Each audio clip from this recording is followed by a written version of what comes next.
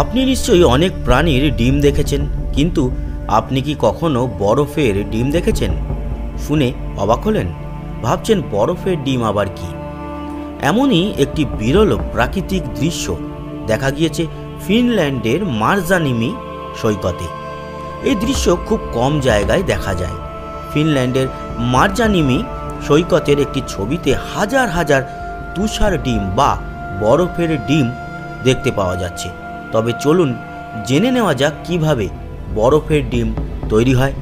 আপনি হয়তো এই শব্দ আগে শোনেননি, কিন্তু আপনি ডিমগুলি দেখলে অবাক হয়ে যাবেন।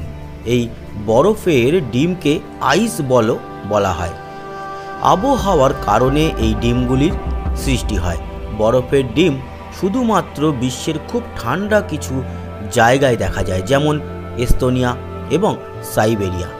এখানে যখন তাপমাত্রা মাইনাস ফিফটিন থেকে টোয়েন্টি ডিগ্রি সেলসিয়াসের মধ্যে পৌঁছায়, তখন এই ডিমগুলি তৈরি হয়।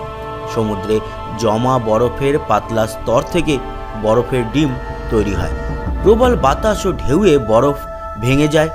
নিম্ন তাপমাত্রার কারণে তারা একে অপরের সঙ্গে লেগে থাকে। সঠিক তাপমাত্রা এবং ঠান্ডা বাতাসের কারণে জমাট বরফ লেগে থাকে। অস্বাভাবিক আবহাওয়ার জেরে ফিনল্যান্ডের উপকূলে বরফের এমন আকৃতি হয়েছে বলে মনে করছেন বিশেষজ্ঞরা।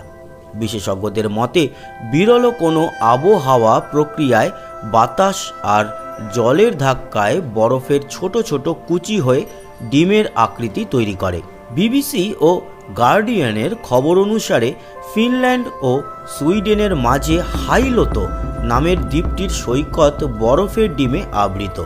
এ দৃশ্যের ছবি তোলেন রিস্তো মাতিলা। তিনি টুইটারে সেই ছবি পোস্ট করেন। রিস্তো মাতিলা বলেন, প্রায় একশো ফুট জুড়ে হাজারো বরফের ডিম পড়েছিল।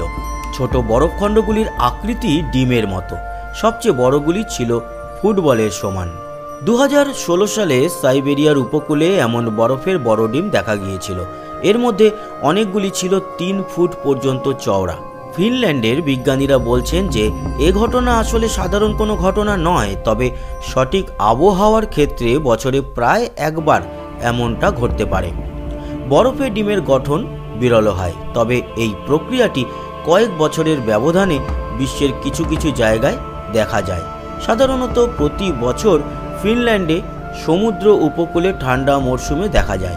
এছাড়া আমেরিকার গ্রেট লেকেও বরফের ডিম তৈরি হয়। তো বন্ধুরা, কেমন লাগল এই অজানা তথ্য? আশা করি ভালো লেগেছে। আর ভালো লেগে থাকলে সঙ্গে থাকবেন সাবস্ক্রাইব করে লাইক শেয়ার করবেন কমেন্ট বক্সে মতামত জানাবেন। ভিডিওটা দেখার জন্য অনেক ধন্যবাদ। আবার দেখা হবে। টাটা।